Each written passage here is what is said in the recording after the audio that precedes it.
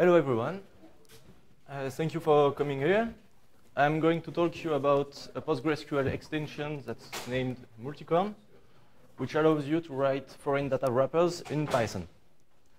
Uh, is anybody here already familiar with this extension? Yes? Did you use it? I haven't used it yet. Okay. Thank you. So,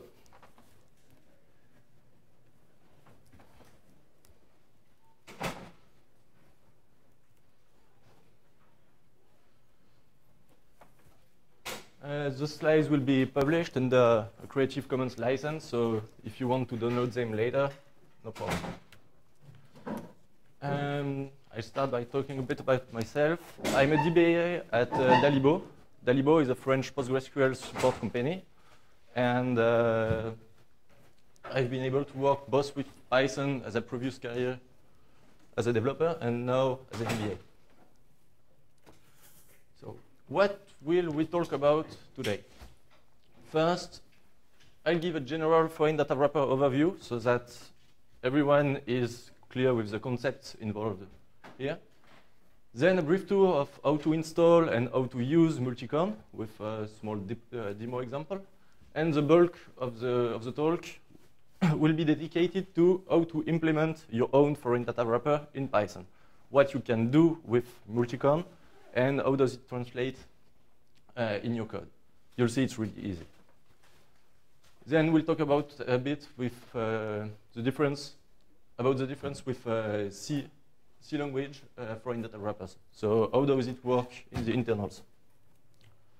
So, um, have any of you already used foreign data wrappers? Yes? Anyone? Which ones? Postgres?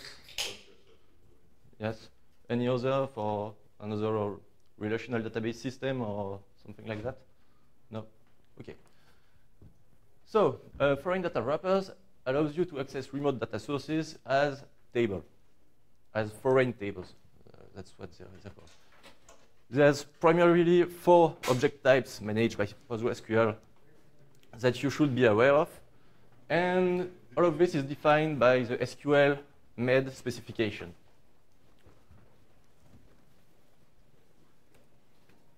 First, among these four objects, there's the foreign data wrapper itself. A foreign data wrapper is just a set, in PostgreSQL, is a set of uh, C language routines, which are called as hooks during the, the planner phase and the, the execution phase and so on.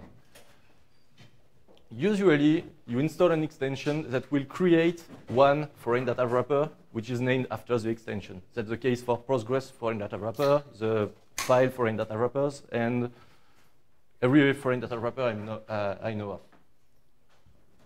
Um, as a side note, if you can't understand me because of my accent, feel free to say it.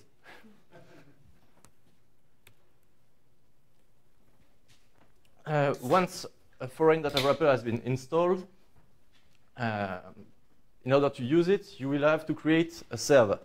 A server is directly attached to a foreign data wrapper, and that's where you usually will define the connection options and so on to access a remote data source.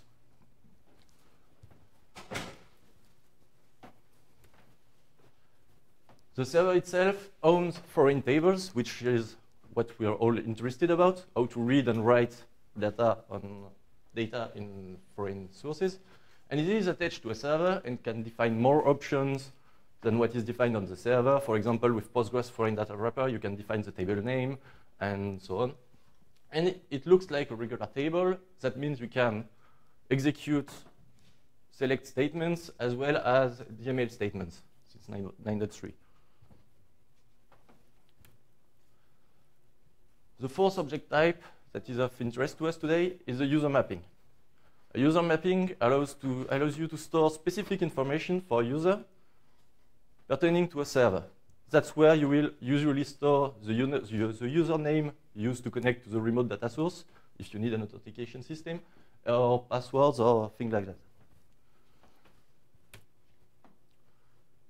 So this is a basic example for using the file foreign data wrapper. You have to create the extension that will then create the foreign data wrapper for you, then create a server, and then you can define foreign tables with the specific options for the file foreign data wrapper, like the file name, encoding, delimiter, and so on.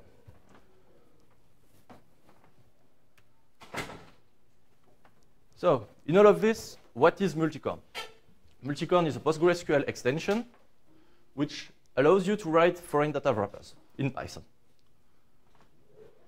it is licensed under the PostgreSQL license. You can find the code on GitHub and the documentation on its own site. It's also released on PGXN, the extension network for PostgreSQL. Uh, so it was developed at Kozea, which is my former employer. you may be, you may, you may, ah, sorry, you may have been asking yourself, what is the purpose of such a thing? Why would you ever want to write a foreign data wrapper using anything other like other than C? Well, developing a, a foreign data wrapper is quite complex. You have to understand all the routines you need to implement, implement them in C. If you need to access a, another data source, you usually have to use another library written in C2, which can access uh, this. So the goal is to provide you with ease of prototyping. It's really easy to get a first prototype that can access remote data using Multicorn.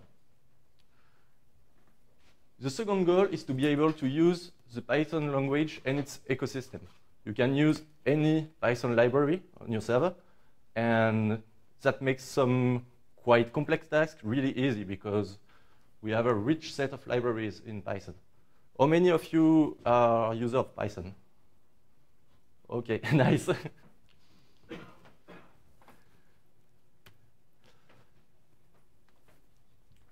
How does it work with regards to classical foreign data wrappers? It's one extension that will create only one foreign data wrapper in the PostgreSQL sense.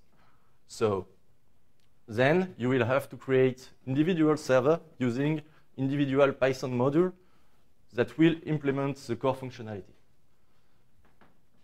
Basically, it offers a, a Python API on top of the C API. But this API is really simplified and take, uh, take care of a bulk of the, of the work for you. The extension itself is bundled with some modules. Some of them are really usable. Some of them are just uh, nothing more than examples on how to do some things. Among these modules is uh, SQLAlchemy. I don't know if you know it. It's a library in Python which allows you to connect to, which provide um, an abstraction layer over SQL, and that allows you to write portable SQL amongst multiple RDB, RDBMSs. That's really useful because that means you can connect to any relational database management system using Multicorn. Uh, there's an LDAP provider as well as an IMAP. You can also read from file system or Google. And an example that I didn't write here, but that is quite useful, is you, you can also read from, from Git. I don't know if you attended the previous uh, conference this morning about SQLite. So using Multicorn,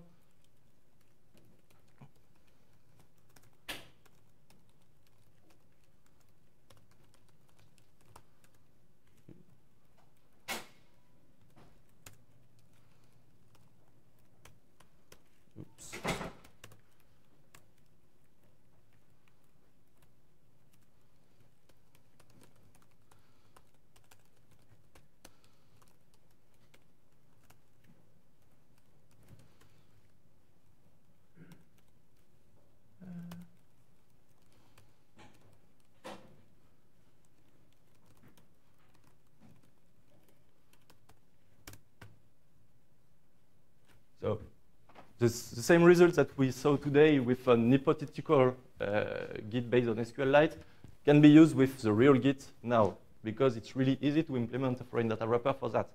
It's a bit slower, sure, because uh, the data is stored in Git format, but that's the kind of thing you, you can do. It's In total, it's something like 20 lines of code, of Python code, to parse a whole Git repositories and extract the commits. Installing the extension is really simple. You can either get the sources from GitHub or from PGXN. Then you run make install, and on the database that you want to use it on, create extension multicorn, and you're done.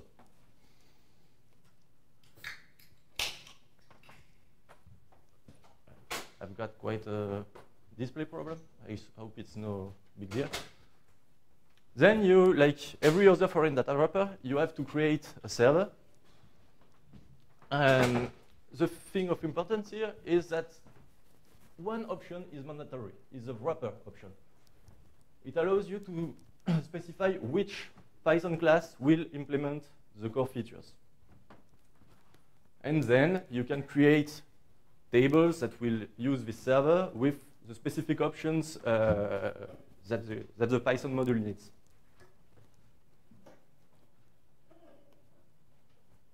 So we are going to see how to implement such a simple throw-in data wrapper. Do you guys have any questions for now? No? Fine. So, first thing first, we have to create a Python project. Since you, since the bulk of you seems to be familiar with Python, it shouldn't be a problem. Uh, can you read that from the back of the room with the contrast? Great. So if you're familiar with Python, you may recognize a simple setup script. There's not really much to do here. Just specify what your project name is, the, the license. If you have uh, dependencies, you will put them uh, here, but it's really Python stuff. It's easily documented uh, everywhere on the internet. What's interesting is how to write a foreign data wrapper. That's the simplest foreign data wrapper you can write. Something that doesn't do anything.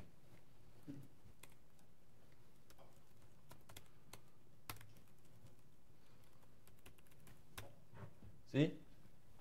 You only have to implement to extend the foreign data wrapper class and override the execute method. That's all that's needed. There's a, there is also other hooks, but to get something basic, you don't have to do much more like that, much more than that. So,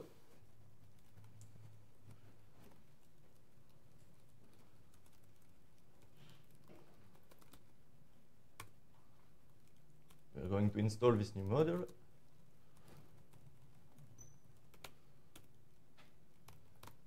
And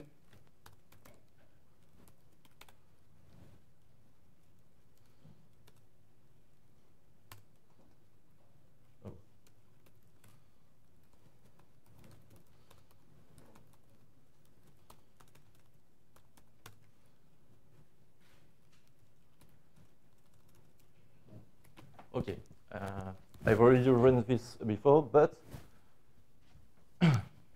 the thing is, uh, if you don't do anything in the execute method,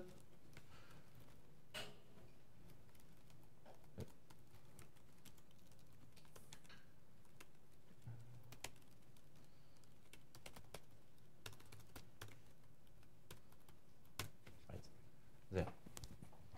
If you don't do anything, you're going to use the default return value of Python, which is returning none, which is then interpreted by multicorn as returning no rows. So we now have a foreign data wrapper that doesn't do anything. That's not really useful.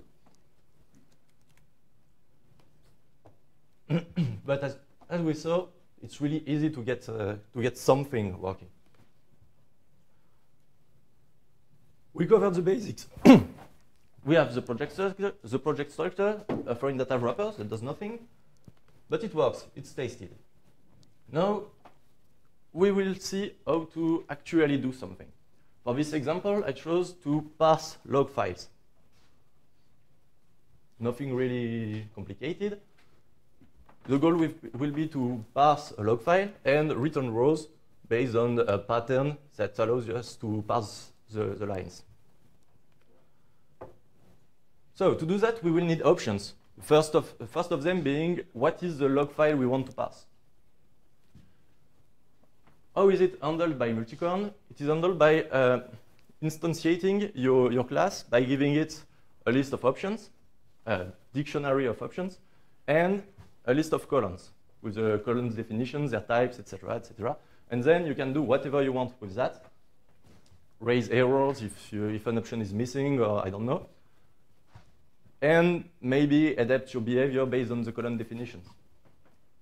What is important to know here is that the first time in a session that you access a foreign table, an instance will be created and it will be cached for the rest of the session. The cache will be invalidated if you change an option or something like that. But if you want to perform uh, initialization, you should do, do that on the constructor. It's guaranteed that it will be called only once per session. So that's where you would initialize connection maybe or things like that.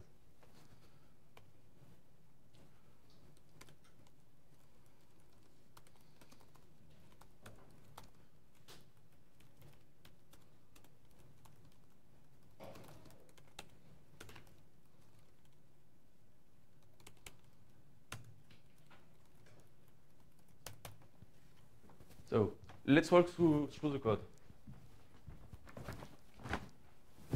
In the constructor, we're just calling the parent constructor, which will take care of keeping a reference to the options and etc. etc.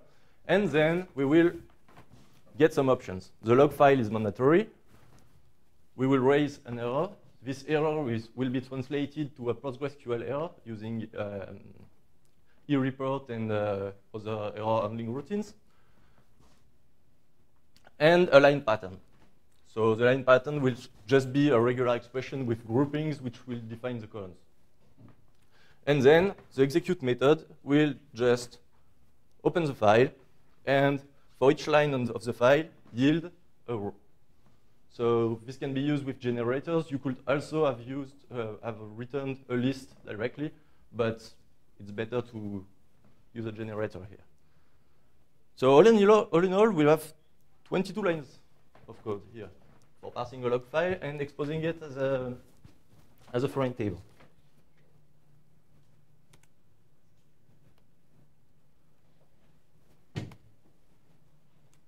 Nothing fancy to see here.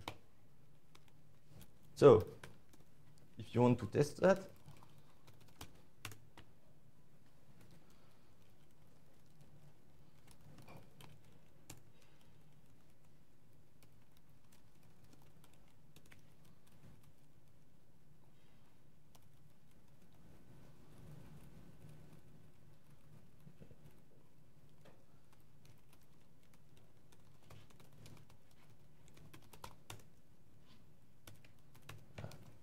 Sorry about that.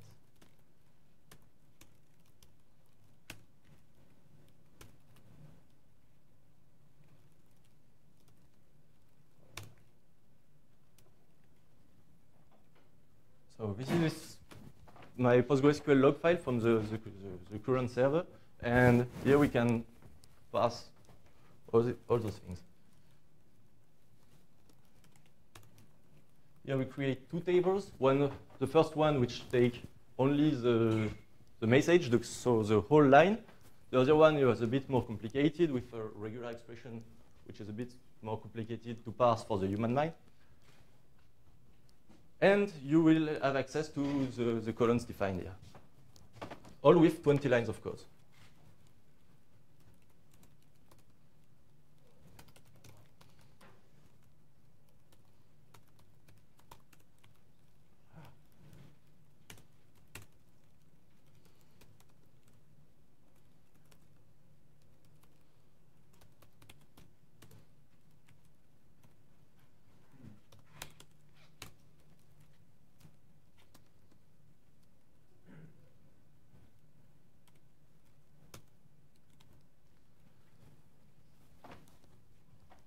There we have a basic prototype that works, but there's so much more we can do. For, for example, we'd like to push down uh, conditions to the foreign server. We'd like to optimize a bit what, uh, what conditions ca ca can be passed.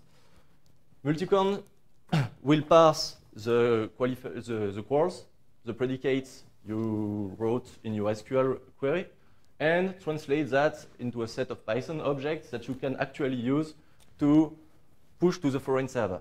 That's what the SQLAlchemy foreign data wrapper does. It will push that at where condition to the foreign relational system. Uh, that's what the IMAP uh, server does. It will translate that to complex IMAP conditions using flags or uh, headers uh, conditions. You can look at the existing code for some example on how to use that. Here, we're going to implement a really simple optimization.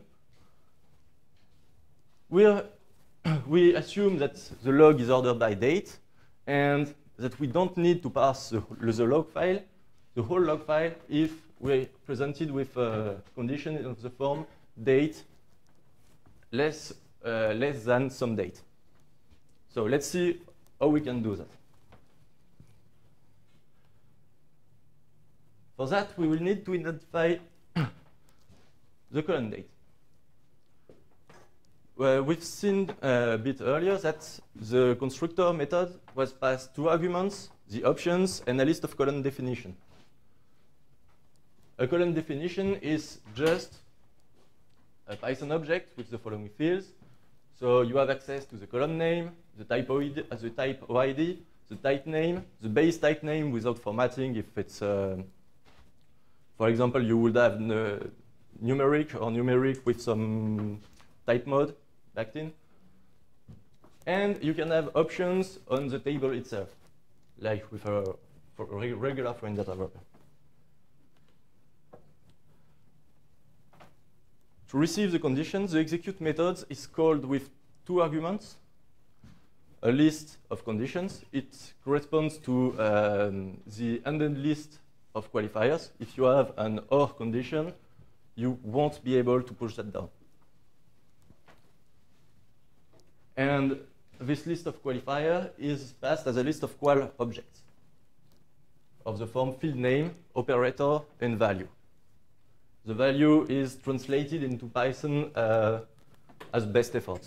That means if your colon if, uh, is uh, if your colon type is date, you will receive a Python date object. Same goes on for integers or things like that. Um, what is important to know is that all conditions are going to be rechecked by PostgreSQL because Multicorn doesn't want to get in the way of implementing foreign data wrappers and won't force the developer to declare what conditions will actually be checked on the foreign side. So it doesn't remove those conditions from the, from the conditions that should be executed locally. I don't know if that's clear. Yeah. So yeah, it's a, it's a choice. But when you're implementing a foreign data wrapper in Python, you're not really concerned about rechecking conditions on the PostgreSQL side. That should be fast.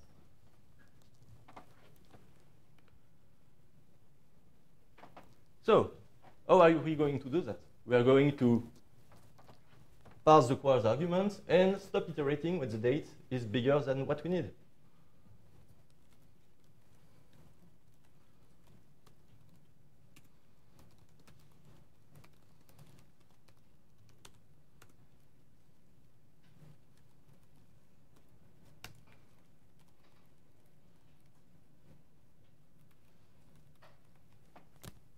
So now we get it gets a bit more complicated. We are going to we are going to need to track which column represents the date in the logs. This is done with a colon option, is timestamp.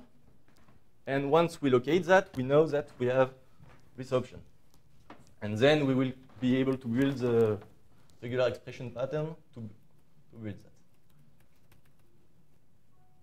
And in the execute method, the only thing we have to do is look for a specific condition that we want to optimize for. If we find it, then we can optimize this. And don't care about, uh, we then we don't need to pass the rest of the file if we found the condition we were looking for. So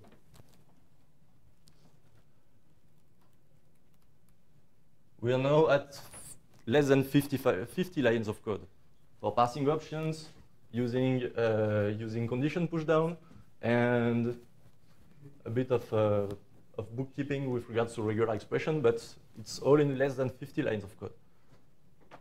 If you want to, if you want to implement this with a regular foreign data wrapper in C, uh, I don't know how long that will be. So this is a, a small example, but you could imagine further optimization to that. If we have a greater than condition on the date, we could pass the file from the end or stuff like that. If you want to implement it, go on. It's left an as an exercise to you. And now we're getting to the interesting stuff. Let's say uh, we want to perform joins across multiple foreign tables. We know that for a specific backend, we can we have the equivalent of an index on that line, and it will be really cheap to pull just one line with a condition the, of the form id equal something, for example. What this will allow to do is to declare that to Multicorn, which will then generate, generate parameterized paths to Postgres, which will then be able to use them to plan its query accordingly and to perform a nested loop in the right order instead of fetching all the data and performing a merge join, a merge join locally. This will allow you to avoid fetching the whole data from the data source. So, how is it implemented? Um, what do you need to do from the Python side? You just need to implement the get passkeys method, which is really a simpler way, a dumbed down way, to inform the planner that, yes, I have uh, a parameterized pass on the remote side, and if you send me a query with uh, where condition using this, uh, this column, you can be expected to receive that much lines. This has, been, this has been done like that instead of using the whole analyze mechanism because for prototyping, it's really much easier to just declare what you have instead of making PostgreSQL collect the, the statistics and getting a representative sample. That's complicated stuff. If you ever need to do that, feel free to fall back to a real C implemented foreign data wrapper. Here, it's all about ease of use.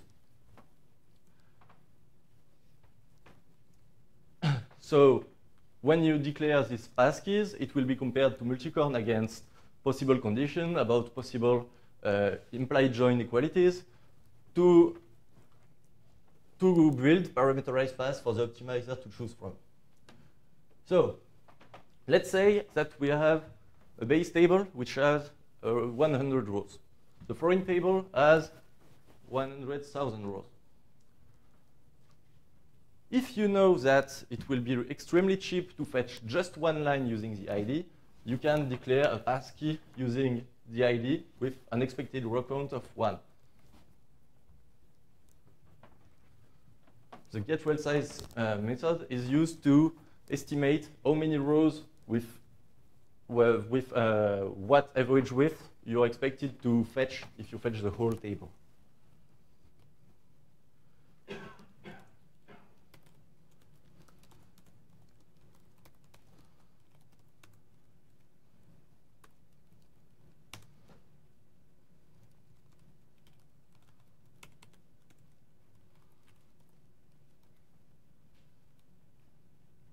So that's exactly what, what we what we do here. We create a new class which will indexed.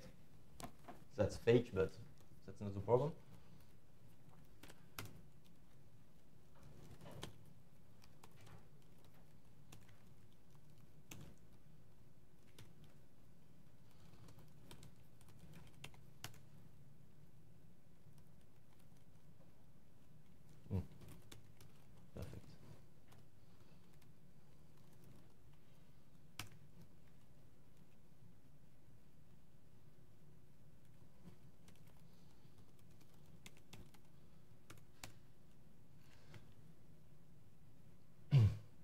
So what do we do here? Yeah. If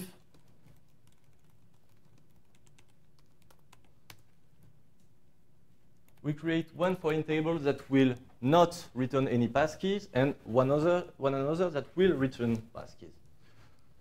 What I want to show you here is how the planner will change the execution plane just based on those uh, declarations.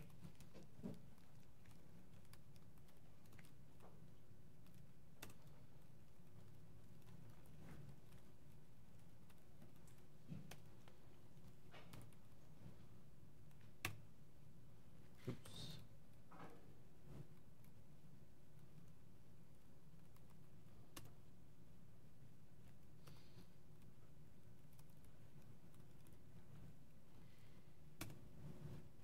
Sorry about that.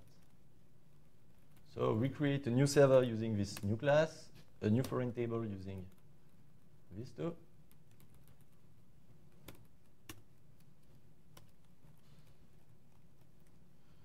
So if, you, if we try to join this table with a local table, a local table that has to be created,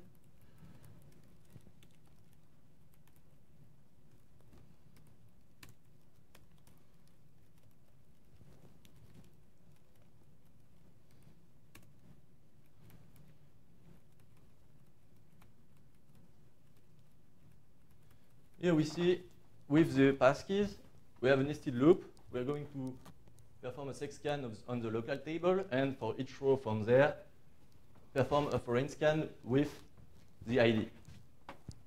If we didn't declare that, we would have that kind of plan, which with a foreign scan, which will fetch all the rows locally and perform a hash join locally. So you will have to fetch the whole batch of rows to perform a join locally. So this allows you to perform some optimization. It's no join pushdowns, because that's not possible right now with foreign data wrappers, but it can help in some situations. I've heard of a user successfully performing uh, queries with up to seven joined uh, foreign tables with acceptable response time only with uh, customizing a bit uh, the, the, the, parameterized path that he wants to use. So it's really powerful. So now we've performed some simple optimizations. We informed the planner about said optimization so that he can choose the best path for the job. If you want an actual example that does something um, that uses this technique, you can look at the IMAP foreign data wrapper class, which makes some basic assumptions about the number of email per, per, um, per person, about the message ID being unique, and so on and so on. You can see uh, how it works that way.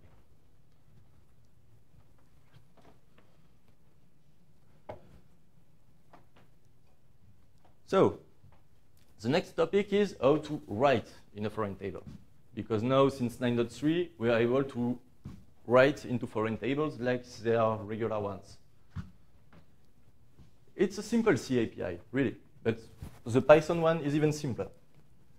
You just have to implement those three methods, insert with a value which, be, which will be a dictionary of the values you want to insert, with column name on one side, and with column name as the key and the value as the value update will be the same with the old value and the new value used like that, and delete will take only the old value. Uh, for, for, your, for your foreign data wrapper to be able to use this API, you have to declare an attribute that will be the row ID column. That is used internally to track, uh, to track which row uh, is which. So think of it as kind of a primary key.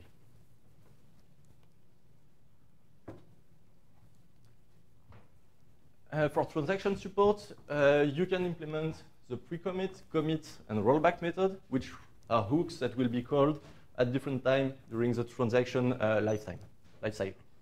So if you want to implement transaction support because your remote data source supports it, you can do it like that. It's done in the SQLAlchemy foreign data wrapper. So the transaction will be, will be supported that way.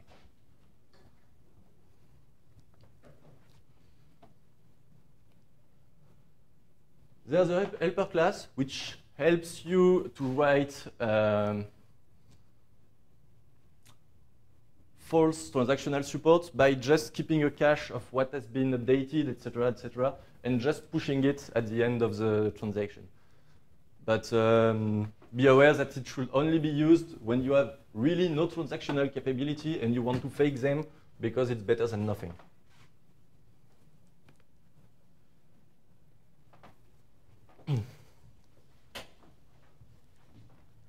Um, this chart shows how the um, C API are translated into Python method calls.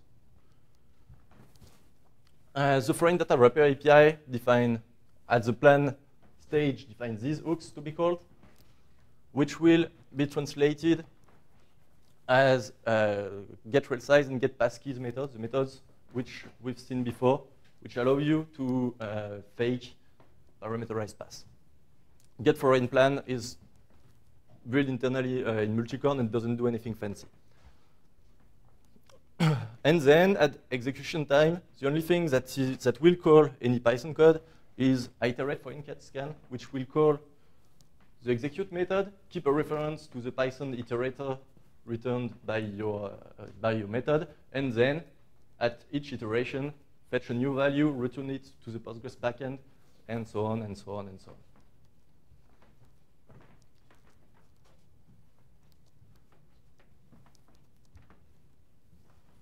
So the goal of Multicorn here is just to be simple and to use for prototyping. If you really want to build something uh, durable or fast or I don't know, you'll better, you, you'll, you'll better be prepared to write it in C because that's not the goal here. The goal is to provide you with ease of prototyping to see if your ID is viable before you invest time writing a full foreign data wrapper. Or if you need some one-off scripts to import data in your database or something like that, that can be a great tool for that too. But yes, think, uh, think about those uh, considerations if you plan to use it.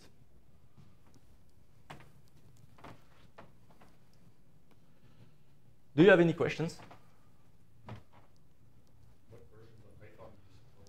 Uh, 2.7 and from 3.3 to 3.4. It's been. Um, if someone if someone knows how to use Windows or the Windows build tools, I'd be happy to take any patch to support it because it's been uh, commonly re requested.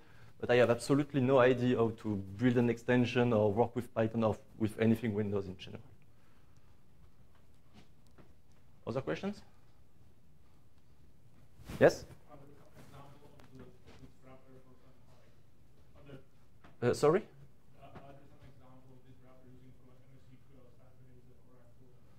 Um, the SQLAlchemy foreign data wrapper can be used to query this database.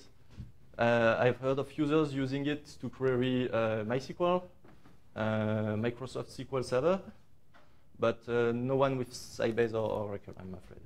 But normally it should work because the underlying library supports it, providing the, the driver installed.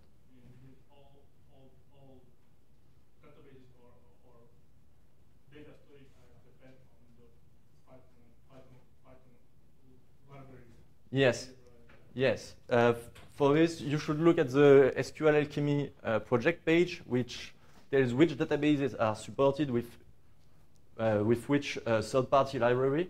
And normally, if you install that and specify the right connection string, you're good to go. Other questions? So thank you for your attention.